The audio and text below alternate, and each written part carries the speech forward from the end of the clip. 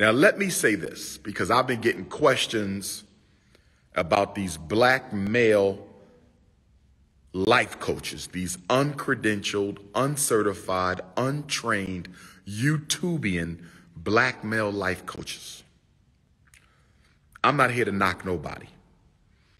I don't know how anybody feeds their children. I don't know how they keep a roof over their head. I don't know I don't know how they keep food in their body. I'm not here to knock anybody's hustle. I'm not here to knock anybody's hustle because I don't know how they feed their children.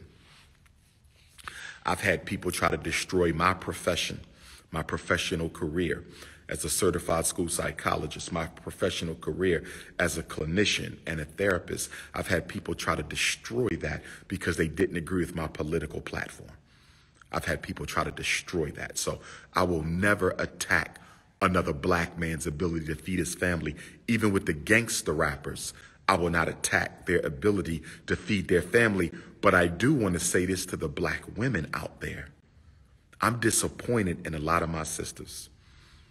I am disappointed in a lot of black women because I thought that our sisterhood was evolving to a place that would not tolerate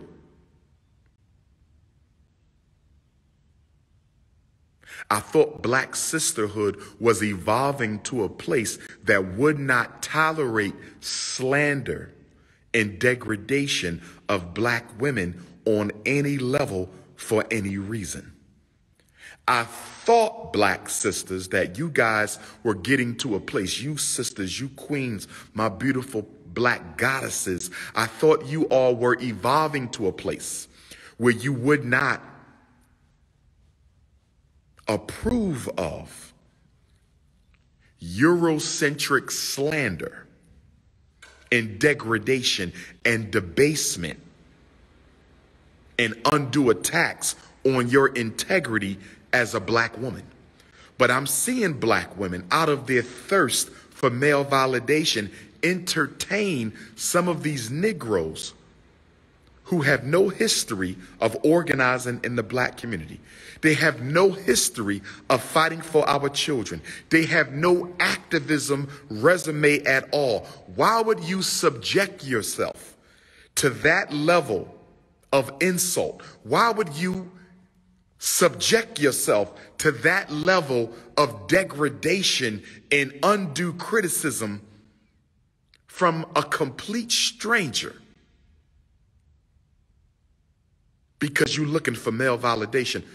That's why we need the Frederick Douglass and Marcus Garvey Academy. See, when this gym is fully restored, when this gym is fully restored, I'm going to offer some sisterhood circles Dr. Umar is going to offer some sisterhood circles right inside of this gymnasium. I'm going to offer some sisterhood circles right inside this gymnasium where I'm going to speak positivity and strength to our black women. I'm going to speak positivity. The sun has come out. Woohoo! Woo!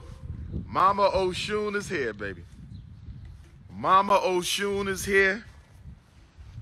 Oh, Orunmila is here. Look at the sun. It just rained cats and dogs, and now look. The sun is shining on the Frederick Douglass Marcus Garvey Academy. The sun is shining. When we have our cookout, we're going to put a bunch of benches and tables out here for the cookout. We're going to have a lot of benches and tables right here in the Anna Douglass Amy Garvey Park. We're going to have a lot of benches out here in the Anna Douglass and Amy Garvey Park, brothers and sisters.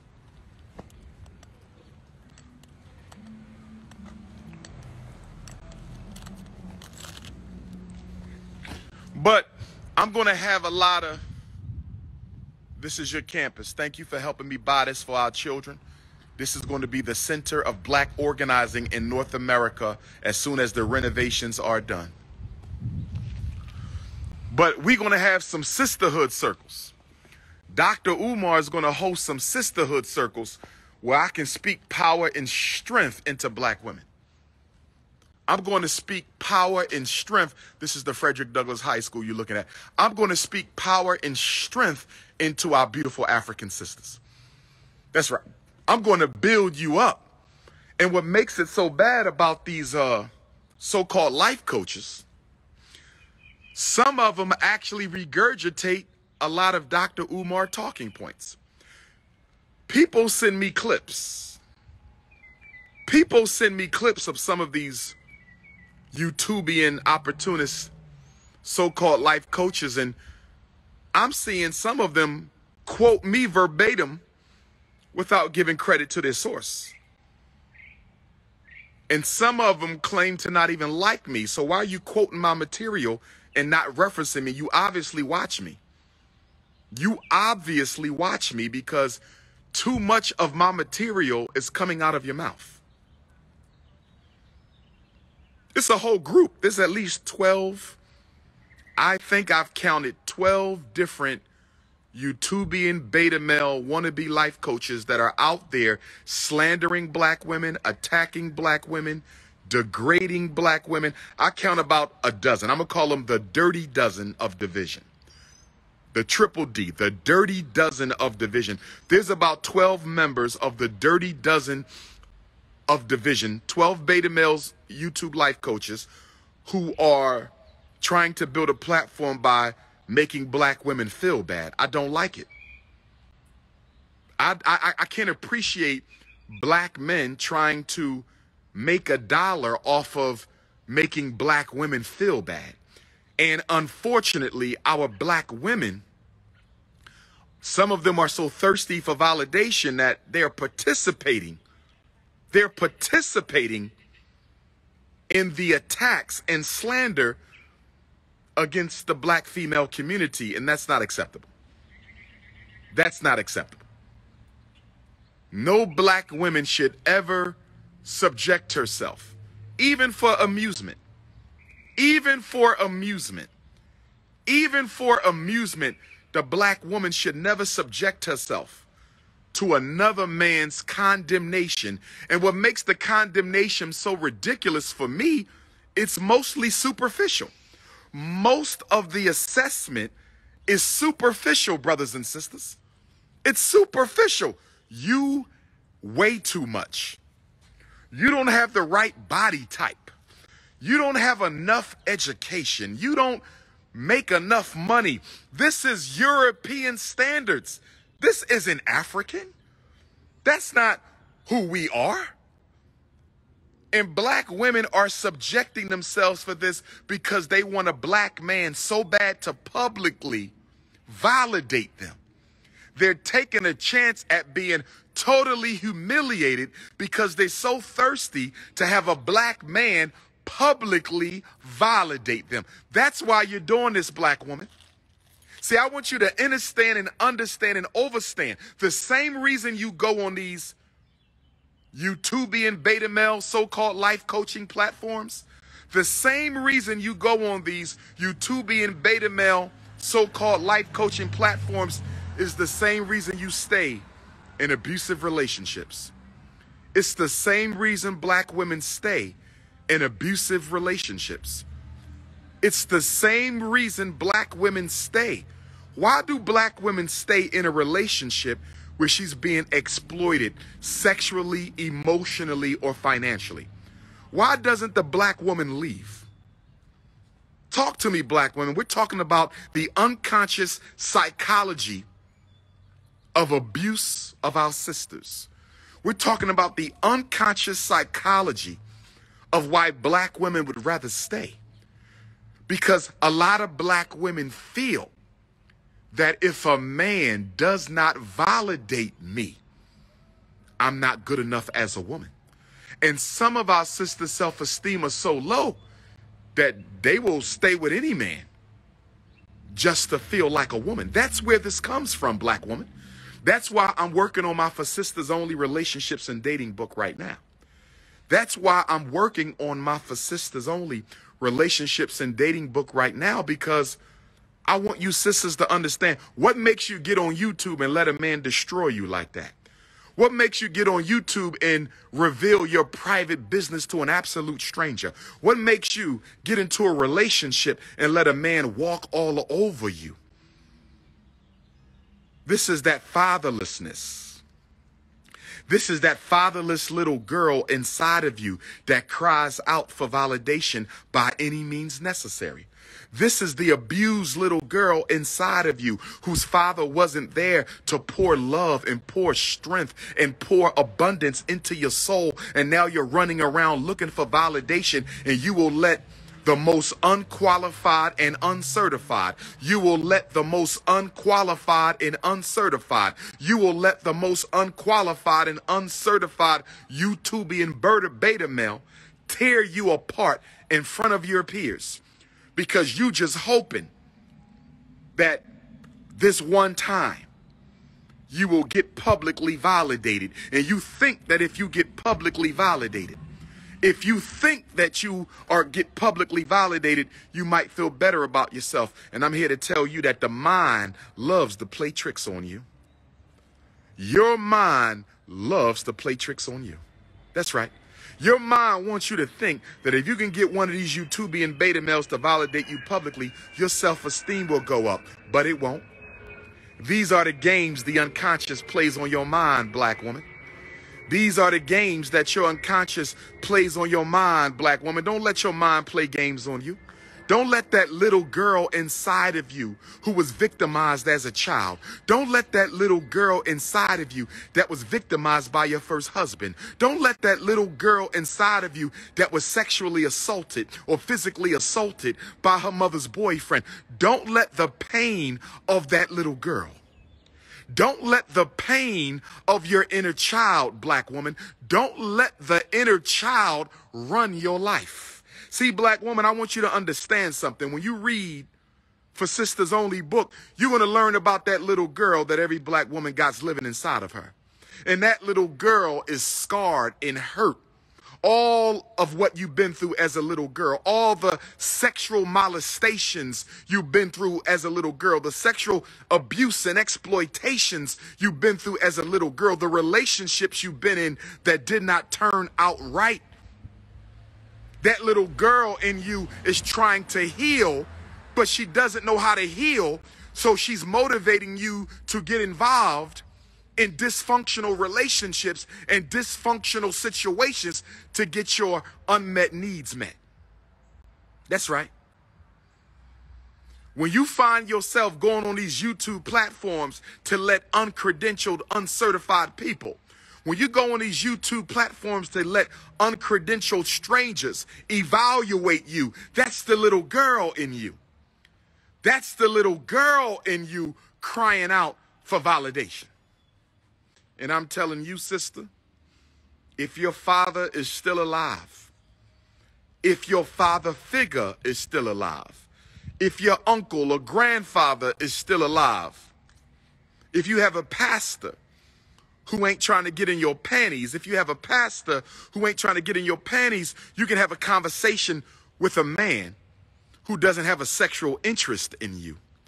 You can have a conversation with a man who doesn't have a sexual interest in you to help get those unmet needs. See, every woman in the world, but we're talking about our queens. Every woman in the world, but we're talking about our queens Every woman in the world needs a man who loves her without any interest of sexual intercourse. Listen to me well, black woman. In order for you to be healthy, you have to have a man you can go to and get emotional healing and support. And that man is so secure in his manhood and so in control of his hormones and his root chakra See, black men, we got to get our root chakras under control. The black man has to get his root chakra. Black men, the reason why some of us are so hypersexual is our root chakra is out of control. We have to get our root chakras under control if we really want to serve the black sisterhood. I'm going to say it again. We got to get our root chakras under control so that we can be of better use to our women. because every black woman needs a man that she can depend on for emotional support that doesn't lead to sexual abuse. And I'm using sexual abuse in the general sense, not having sexually raped or anything, but having sex with a woman who really don't need sex can be a form of sex abuse. Having sex with a woman who really don't need sex, who's looking for love, that can be considered a form of sexual abuse, brothers and sisters. And so black men have to get our root chakras under control. So when sisters come to us, we can say to ourselves, not to her, this is a beautiful sister, but she don't need me for that. She don't need me for that. She need me to be a man right now. She needs me to be a non-sexual man. She needs masculine energy that does not have any sexual agenda tied to it. Women often need masculine love and emotion that doesn't have any physical intimacy tied to it. And I'm going to say this to all the black men listening. I'm going to say this to all the black men listening. I'm going to say this to all the black men listening. Until you are strong enough to love a woman without sticking your Shango stick, until you can say, Dr. Umar, I know some women who are beautiful and got a lot going for them. But because I know I don't really mean them no good, or because I know they really looking for a husband right now and not just a friend, or because I know I have enough women on my rotation as it is, because I know I have enough queens in my queendom, although I would love to experience this sister, I'm going to be a real alpha male today I'm going to be a real alpha male today, and I am not going to let that sister walk into a trap where she's looking for masculine validation but ends up getting taken advantage of by another male. I'm going to let her know, sister, I'm not going to sleep with you. You're beautiful, you're drop dead gorgeous, but I know you're looking for more. And because I know you're looking for more, I'm never going to touch you. We are never going to go there. I'm going to be the man you can come to when you need to have a conversation about other men. I'm going to be the man you can come to and get a hug, a real tight hug, and it not lead to nothing else. Black men, part of being masculine is being able to turn that root chakra down, turn down that root chakra energy and just be a brother to a sister. In order to be an alpha male, in my definition, part of being an alpha male Part of being an alpha male is being emotionally available to black women in need of positive masculinity without it leading to a sexual escapade. Part of being an alpha male, in my definition, in my definition, part of being an alpha male, in my definition, is being emotionally available to a woman without allowing the relationship to descend into an empty sexual escapade. That's where we got to get black men. America has made us too hypersexual. America has made us too hypersexual. America has made us as black men, all men, but I'm talking to my brothers, America has made us hypersexual.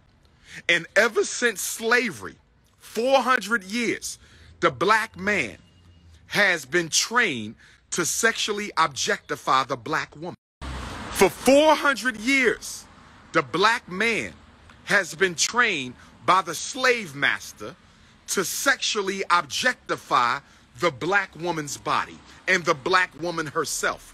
For some of us, the black woman is nothing more than an object of sexual satisfaction. For many of us, the black woman is nothing more than an object of sexual satisfaction. That comes from the slave empire. That is part of post traumatic slavery disease. If you are a black man and the main worth of a woman to you is her sexual abilities, then you suffer from post traumatic slavery disease. Now, don't get me wrong. Black women are gorgeous. I love five five thick in the thighs.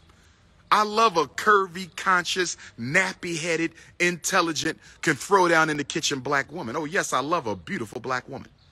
Oh, yes, I do. Oh, yes, I do. I am a man with the urges and instincts of any other African man.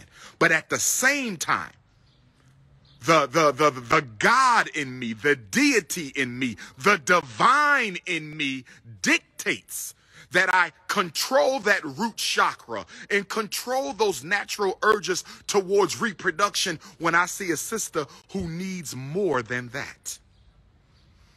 And a true alpha male, a true alpha male can say, you know what? Not this time. Not this time, not under these circumstances. I'm going to be a source of masculine support for this black woman, no matter how beautiful and single she is, and I'm not going to let it turn into a useless sexual escapade where she goes home feeling used and abused. I'm not talking about a sister who is only interested in having a friend. That's different. If a sister just wants a friend and that and she's cool with that, I'm not talking about that. I'm talking about sisters who you know are thirsty for a husband, thirsty for a meaningful relationship, thirsty for a long term relationship, and you are not the one to give it to her. Can you just stand by her as a brother? Can you be the shoulder she needs to cry on once in a while? Can you be the brother that gives her the hug once in a while? See, the reason why some of the coons in the chat the reason why some of the beta males in the chat can't understand, overstand, or understand what I'm talking about. The reason why some of you beta males in the chat can't understand, overstand, and understand what I'm talking about is you have been mentored by beta males who have positioned the black woman as their enemy. You have been mentored by beta males who have raised you to believe the black woman is your problem. I had a beta male say earlier, Dr. Umar, black women been in charge of the black community for 60 years. No, she hasn't. She, the white man, has been in charge of the black community for 400 years. The black woman is only a manager of the black community. And the only reason why she is a manager of the black community is because the war against black men, which is waged by the white man, is sending us to the prison and to the cemetery. So the black woman had to step in and assu- assume that role. The black woman don't want to be the damn alpha male in your house. The black woman don't want to be going crazy raising your children. The black woman don't want to be crazy teaching her daughter about sex and dating and pregnancy and birth control and STDs. Do you really think the black woman wouldn't rather be doing something else? Do you really think she want to be working two and three jobs to get the bills paid because your ass is locked up or dead? And I'm not blaming you, black man. It's a war on us. But what I'm telling you, stop making the black woman the scapegoat for the white man. And if you feel that you have to make the black woman the scapegoat for the white man, then why don't you just be honest and say, listen, I'm scared of my oppressor. I'm scared of the white man. I don't want to challenge him. I don't want to fight him. I'm scared of my oppressor, so I'm just going to blame my sister. I'm scared of the white man, so I'm just going to blame the black woman. That's what you really, that's the truth. Tell the truth. You scared of the white man, so you're just going to blame the black woman. Can we tell the truth? Can we tell the truth? Because that's all you beta males are doing, trying to make the black woman the scapegoat for what the white man has done to you. The black woman does not control the school system. The black woman does not control the criminal justice system. The black woman does not control the legal system. She does not control the economy. Just tell the truth. You have been mentored by beta males who have made the black woman the scapegoat for what the white man has done to you because you are afraid to challenge your oppressor. That's why when the Frederick Douglass and Marcus Garvey Academy is open, there will be code of conduct on this campus. There will be a code of conduct at the Frederick Douglass High School. There will be a code of conduct at the Marcus Garvey Elementary School. There will be a code of conduct at the Nat Turner and Jean Jacques Dessalines Gymnasium. Black power. Yes, sir. Shout out to Wilmington, Delaware for standing by the prince. And black woman, I want all my black women to know something right now. I am not condoning your bullshit. My beautiful African queens, I'm talking to you right now. I'm not condoning your bullshit because some black women are on some bullshit. Some of you play keep away with the kids. Some of you take good men to child support who was already taking care of their kids. Some of you will bring good brothers into your life and you use them as an emotional crutch just to get your baby daddy or ex-husband to pay attention to you. I am not condoning the bullshit of black women. I am not saying that the black I am not saying that the black woman does not have faults because the black woman has faults just like the black man has faults. But I am concerned about the example that black men are sending to young black boys right now in this country. I am concerned about the message that black men are sending to young black boys in this country when a 16 year old girl gets four shots to her heart when a 16 year old girl gets four shots to her heart in Columbus, Ohio, and a whole bunch of weak ass, no backbone having beta males will get on the internet and defend a white policeman. Will defend a white policeman who shot four bullets into the stomach of a 16 year old black girl. I cannot, I cannot condone that. No damn beta males. All these young brothers out here claiming to be masculine. All these young brothers out here claiming to be masculine, and all you doing is attacking women. I'm seeing entire threads on social network of black men talking about everything wrong with black women. That's not how we act, brother. White people are watching this shit. White people are watching this. They are watching you attack your sister on a public platform. Do you really think if a black cop put four bullets in a 16 year old white girl holding a knife, do you think any white man would be defending a black cop? Let me ask you again. If a if a black cop put six bullets in a white girl holding a knife, if a black cop put six four bullets in a white girl holding a knife, if a black cop put four bullets into the heart of a white girl holding the knife, do you think any white man would be on social media defending the black cop who murdered the 16 year old white girl? What's wrong with us? That's why at the Frederick Douglass Marcus Garvey Academy, we're going to have a code. We're going to have a code. When you walk on this campus, every black woman will be at peace on this campus. If a black man says the wrong thing to you, he disrespects you. If he does anything inappropriate, you will be able to tell one of the brothers and sisters, and they will be their name will be added to the book of Negroes and they will be banned. If you do not respect black women, do not come to the Frederick Douglass and Marcus Garvey Academy for any community events. If you do not respect the black woman, do not ever come to the Frederick Douglass and Marcus Garvey Academy for any community events because you will be banned and your name will be added to the book of Negroes. When you show up, we need to see your driver's license or state issued ID. I'm letting y'all know now. Don't come to this school for an event pulling out some fake Hotep identification card. We're not doing that. We're not doing that. State issued ID. My Moorish brothers, I love you, but you better have a state issued ID or you're not coming in. I want to see the real name, the name you was born with, the name your paycheck has on it. That's what I want to see. Or you're not coming in here. I want to know who everybody is and where they live. That's right. I want to know who everybody is and where they live, brothers and sisters. That's what I want. Black man, if I'm going to hold you accountable, I got to hold the black woman accountable. Black man, if I'm a so brothers, if I'm gonna hold you accountable, I gotta hold the sisters accountable. Black woman, don't disrespect no black man on this campus.